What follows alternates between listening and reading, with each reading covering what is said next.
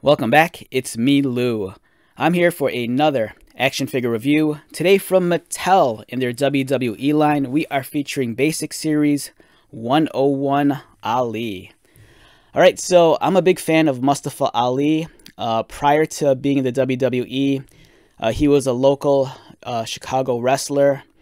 Uh, incredible talent, you know, high flying, uh, great technical skill and I think he's just very underrated.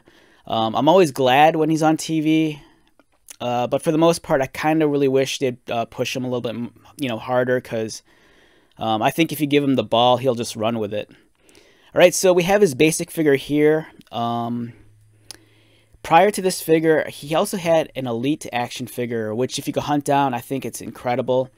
Uh, that elite figure comes with the mask and the vest. Uh, but this one's pretty solid. You know, for it being a basic figure, it's much more affordable. Um, and if you're a casual collector, you know, it, it's not, you know, it's not very hurtful on the wallet. And it's just a very solid figure overall. Uh, the detailing on the gear is nice. Um, as you can see, his gear's um, colored in a gray, black, and purple color scheme. Um, I, th I, think his elite figure might be yellow and black. Uh, but nonetheless, this is still a nice figure. Uh, the sculpting on the face is pretty good. You know, captures Ali's likeness. Uh, the articulation, his head rotates. Arms move, they go outward. He has an elbow bend, an elbow swivel with articulated wrists.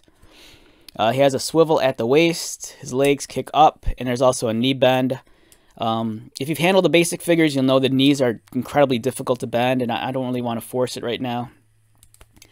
Uh, but overall, solid figure. You know, it's a great representation of Ali.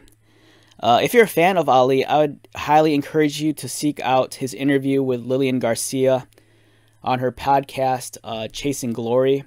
Um, the interview is probably, I want to say maybe from uh, 2018 or 2017. And it's a really insightful look uh, into Ali's career um, especially coming off the heels of 205 and being called up to the main roster. You know, it, it was at the time is is kind of a big deal for him to break out of the 205 roster and you know be moved up uh, to the main, you know, the main show. But overall, great wrestler, really nice action figure. You know, I think this is something that you could really just you know add to your collection. All right, so with that being said, let's wrap this one up. Uh, once again, my name is Lou. If you're new to my channel, welcome. If you're a returning viewer subscriber, thank you so much for your continued support. I greatly appreciate it. So until the next video, be safe, take care of yourself, buy lots of toys, and most importantly, be happy. And I'll see you at the next one. All right, later.